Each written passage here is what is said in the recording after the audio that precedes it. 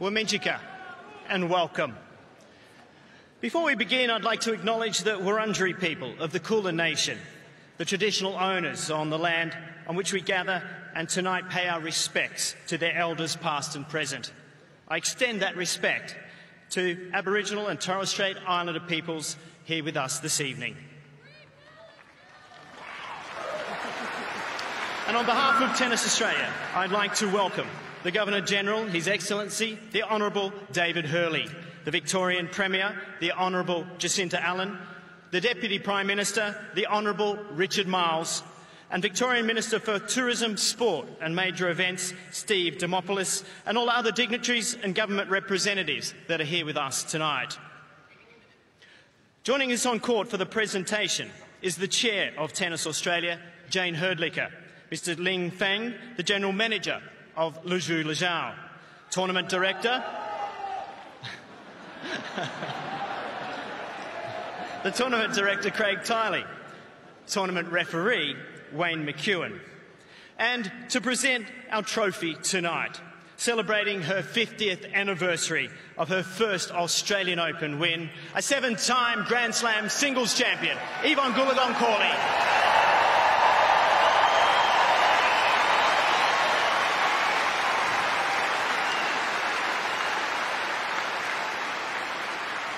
Well, the Daphne Akhurst Memorial Cup, which is awarded to our champion tonight, has been travelling around Victoria over several weeks with our AO on the road team and is now safely back here on Rod Laver Arena.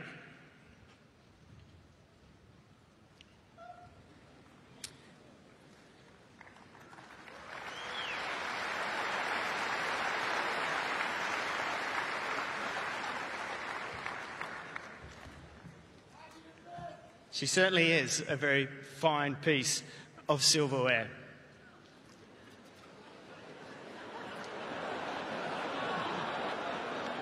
It's Daphne, everybody. I'd like now, though, to invite the Chair of Tennis Australia, Jane Hrdlicka, to say a few words.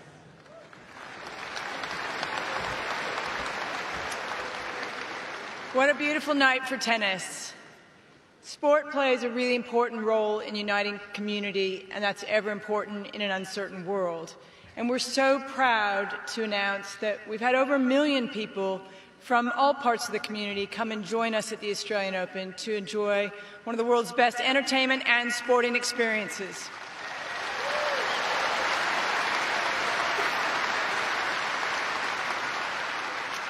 And we've also had over a billion people around the world enjoying the spectacular tennis over the course of the last three weeks. And we're really proud of the uniting effect sport brings to community. We're also really proud of our 12,000 strong people across this site in all manner of jobs, from ball kids to umpires to security teams to all the guest services people who work really hard to ensure that everybody comes, everybody that comes to the Australian Open enjoys a really amazing experience and leaves with a huge smile on their faces. And we're also really proud of our sponsors. We have amazing partnerships from Rolex to the Victorian government to Kia, uh, Luzhou, Luzhou, and uh, Emirates. We've got amazing partnerships that run deep, and they enable us to do all the things that we do here, and we're very grateful for their support.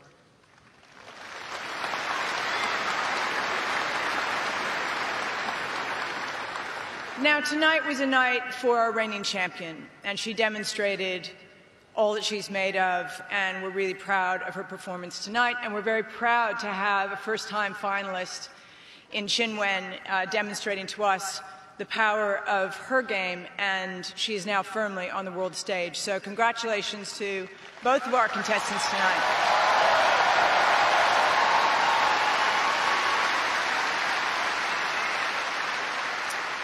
And both of these women are amongst the most extraordinary athletes in the world. They're inspiring women to pick up rackets, girls to pick up rackets all over the world. And we're really grateful for the amazing experience that they've had in Australia the last month. Each of them has done an extraordinary job. And Aryna, as a second time Grand Slam champion at the Australian Open, congratulations.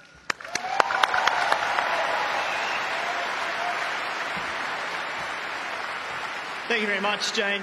Uh, we now call upon the chair umpire for the women's singles final, Jaume Campistol from Spain. I'll ask him to come forward to receive a gift for the part that he's played in tonight's final.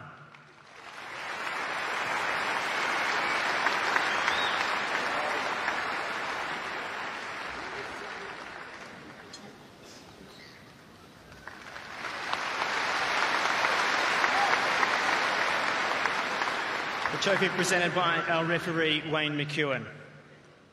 And so, this young woman has entertained us this tournament with her vibrant personality and a very powerful brand of tennis. She's brought a whole new fan base to our sport.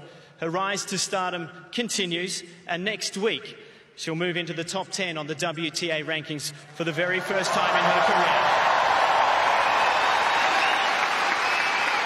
Please welcome Zheng Qinwen to accept her finalist trophy.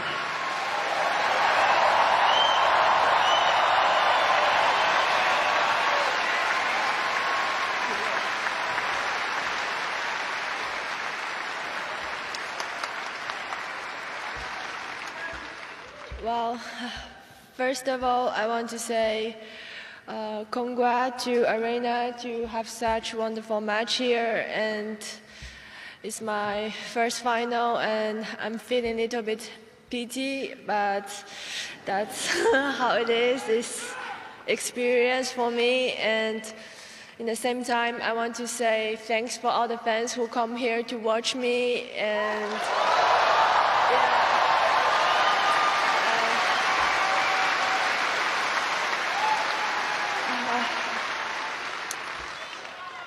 feel right now very complicated because I feel that I could do it better, but I didn't done in this match. But anyway, I want to say thanks to my team to help me arrive here, and yeah.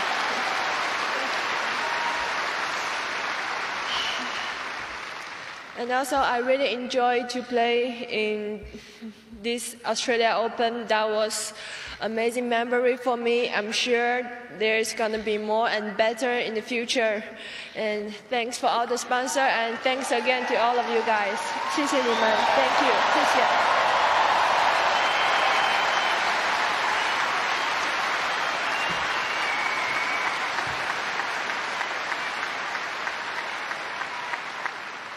Well, what a year it's been since capturing her first Grand Slam title here on Rod Laver Arena. Her consistency has been exceptional, so much so that she reached the pinnacle of our game in September of last year by becoming the world number one. But there couldn't be a more perfect way to kick off a new year than by going back to back in Melbourne. Please welcome the 2024 Australian Open Women's Singles Champion, Aryna Sabalenka.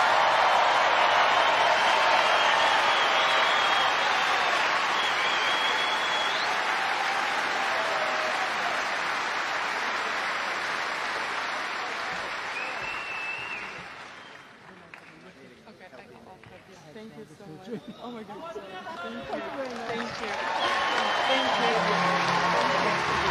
You. You.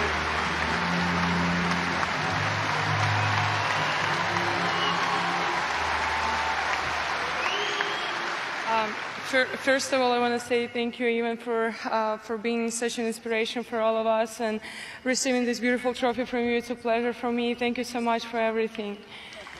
Uh, Uh, secondly, I want to congrats Qinwen on um, an incredible couple of weeks here in Australia. I know this feeling; it's really tough to lose in the finals, but you're such an incredible player and such a young girl, and you're gonna you're gonna be in many more finals, and um, you're gonna get it. And just congrats to you. I want to say congrats to you and your team on on amazing job you guys done. Um,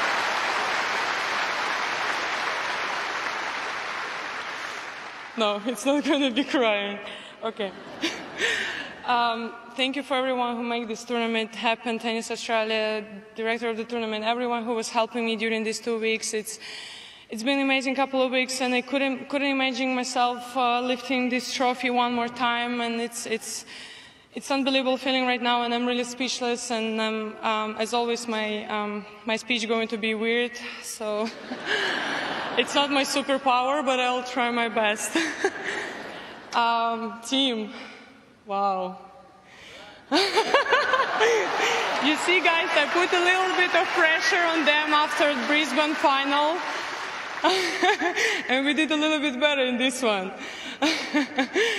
um, but yeah, thank you so much for being by my side no matter what. Uh, I think, I think I have everything. Uh, I mean, what I forgot what I wanted to say, but without you, I wouldn't be able to to achieve so much in this sport. Thank you so much for everything you're doing for me. I'll just keep repeating the same that I'm saying on each speech. So thank you so much for everything you've done for me. I mean, without me, you wouldn't be that good as well. You know, like, let's let's accept that fact. um, and and actually. I never, I, I never speak about my family on the on the winning speeches before, but I actually have to say thank you so much for for everything they've done to me. Um, should I keep speaking English because they they're not gonna understand me? but I hope that, that they'll translate. Um, so I, I, love you so much, and uh, you're my biggest motivation, and everything I'm doing, I'm doing for you. So I'm sending love, and I really miss you so much. Thank you, guys. And did they, did they speak about incredible crowd here? No, I think I forgot. But actually, guys, thank you so much for, for all the support during these two weeks. I really enjoy playing in front of you. This is what makes this place special. And that's, sorry, say it again. so I love you so much and I can't wait to come back and hopefully Thank you, guys. Thank you. Wow, that was long. Sorry. Congratulations once again, Aryna. Well played. Well, that concludes our official presentation. There'll be a photo opportunity, and then Aryna will be completing a lap of honour uh, with the trophy, the Daphne Akhurst Memorial Cup. Would you please give these two wonderful women a final round of applause as we wrap up the women's singles tournament for the 2024 Australian Open.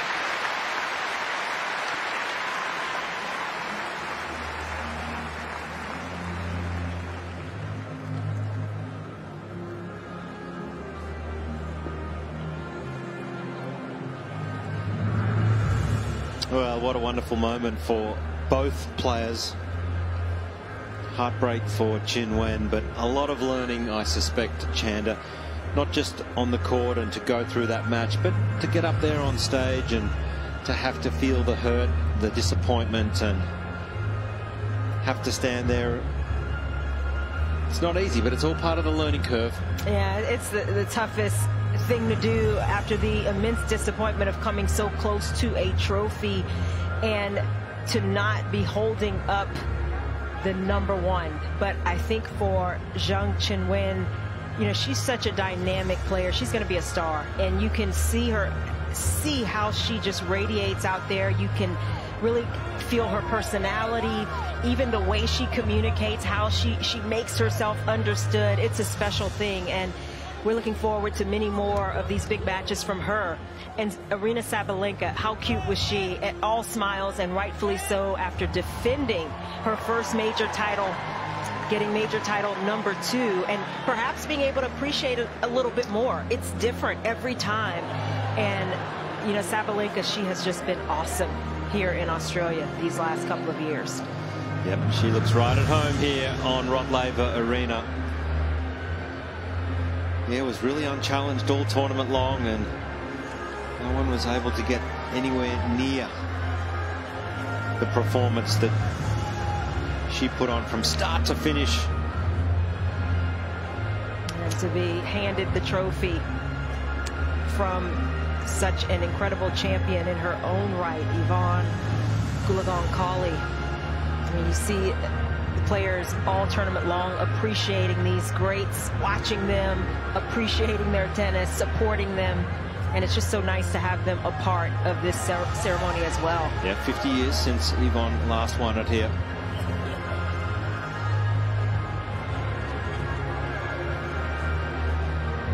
And you can see the the photographers all waiting to get that perfect shot. And I can only imagine how big this would have been back in China for Qin Wen. And the, and the excitement that she brings to the sport Absolutely. worldwide. Yeah, absolutely. We saw pictures of Li Na behind the scenes watching this match and you know she was the inspiration for a player like Zhang Zheng Qinwen you know she has led the way and, and how gratifying it must be for Li Na to see this this young player this young Chinese woman in this moment and she's only going to learn from this experience playing against a champion like Sabalenka I mean this is what the sport is all about it's the highs it's the lows and everything in between and you just appreciate it that much more when you do get to the top of the mountain. That's right. She said she was a little disappointed with her performance, but I don't think she needs to be disappointed. She should be proud.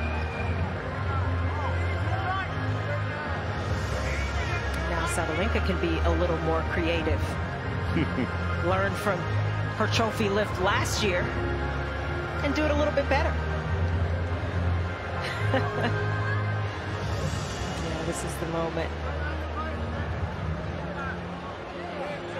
So well deserved.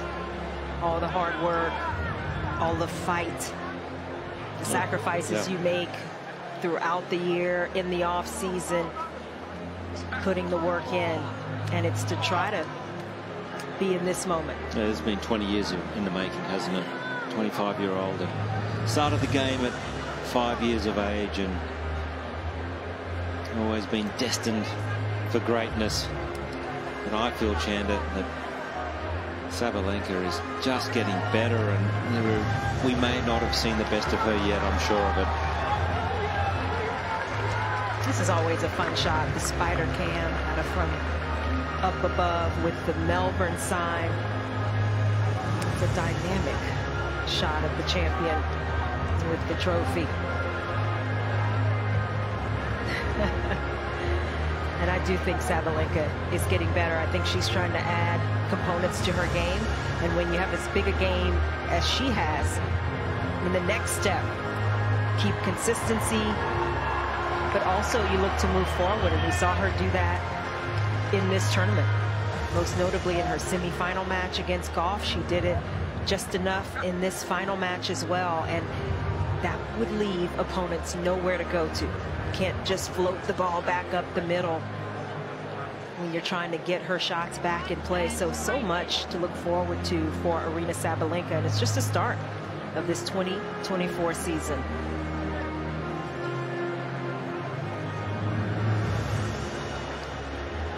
Bit of a reward for the ball persons who you know, are some of the unsung heroes of these tournaments. That's right. They were lucky enough to be selected to do the final tonight. And what a thrill it is for them to get this opportunity right here on Rod Laver Arena.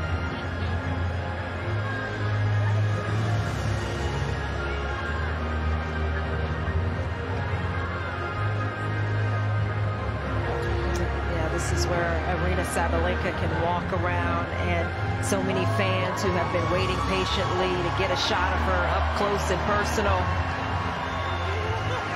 Two-time Australian Open champion.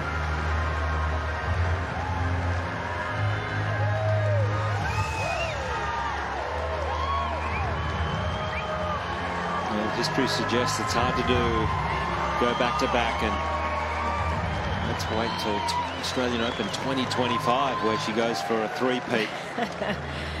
you know, she hinted at that fact, fingers crossed, as she spoke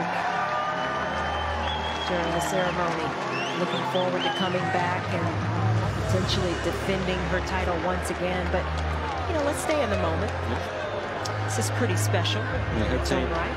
her team will come out and they'll enjoy this. Yeah.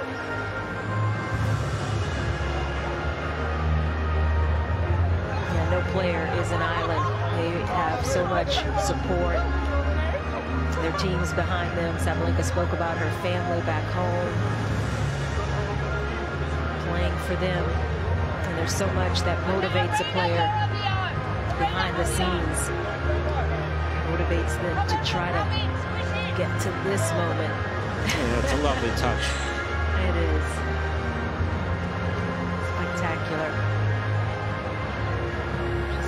The trophy. Yeah.